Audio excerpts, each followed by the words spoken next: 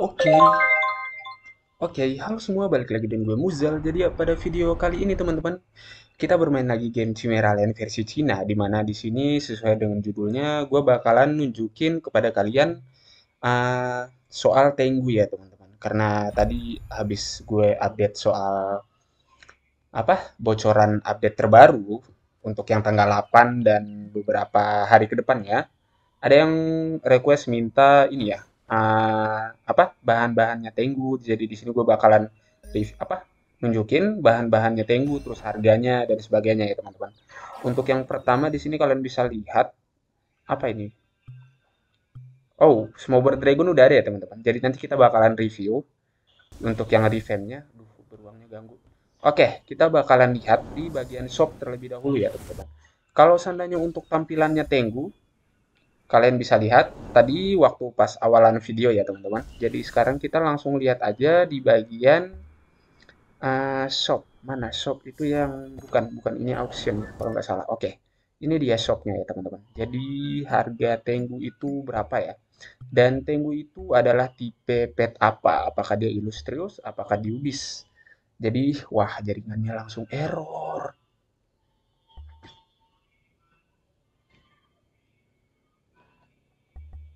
Aduh, jaringannya error, guys.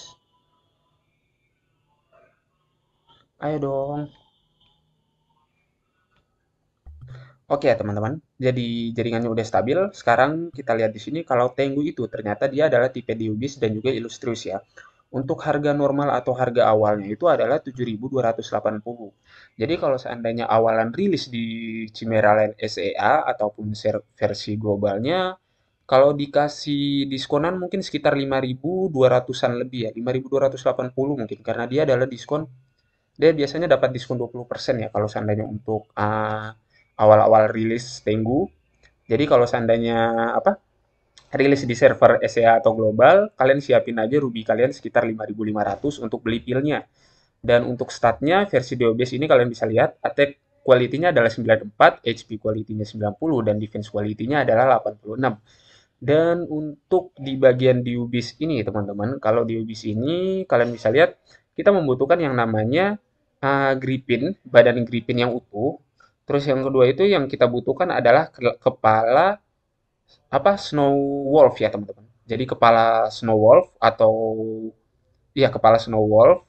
Terus yang terakhir itu kita membutuhkan yang namanya ekor dari ordinary rampant tail. Ordinary rampant tail itu sebenarnya serigala juga ya teman-teman, tapi serigala yang bukan berwarna hitam ataupun putih, tapi dia itu serigala warnanya abu-abu.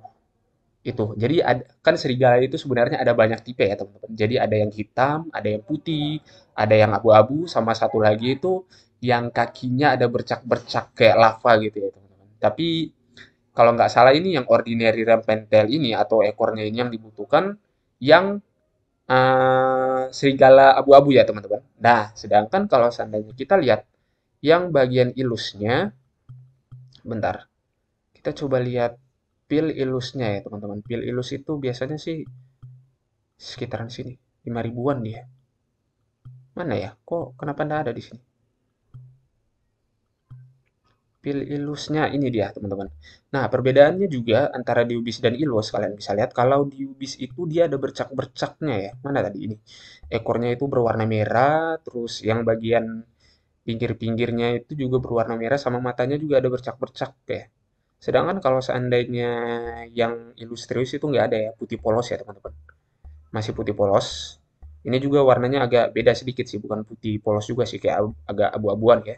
Oke, untuk statnya di sini adalah 74, 70, dan 66. Attack quality-nya adalah 74, HP quality-nya adalah 70, dan defense quality-nya adalah 66. Dan untuk ingredients-nya ya teman-teman, untuk apa dia punya bahan evolve-nya, yaitu kalian butuhkan uh, badan gripinnya tetap, cuman bedanya di sini adalah kita pakai kepala white bear ya teman-teman, kepala snow bear yang biasanya kalian temukan di bagian area salju. Dan yang ketiga itu masih sama ekornya ordinary dan pentel tadi atau serigala yang warna abu-abu. Terus, oke, okay, gue udah jelasin mengenai uh, bahan-bahan D4-nya ya. Gue udah jelasin bahan-bahan D4-nya, gue udah jelasin statnya untuk skillnya. Dia itu ada tipe siang dan malam, di mana kalau siang itu dia tipe melee damage, dan juga kalau malam itu dia tipe range damage. Dan kalau kalian pengen review skillnya itu, udah gue ini ya, bikin videonya untuk review lengkap skillnya ya teman-teman. Dan selanjutnya kita langsung lihat ke bagian ini ya, di bagian apa bikin pilnya ya. Soalnya kalau seandainya kita bikin pil lewat secara gratis ya, kalau kita bikin pil secara gratis itu dia biasanya apa ya? Eh, cuman sampai Illustrius ya, mentok sampai di Illustrius, nggak sampai di Ubis ya. Oke, duh serigalanya ganggu banget. Nah, kita tadi di bagian sini untuk ingredients-nya kita bakalan lihat. Oke, jadi di sini gue bakalan ngerekam sendiri ya, bukan ambil dari videonya orang.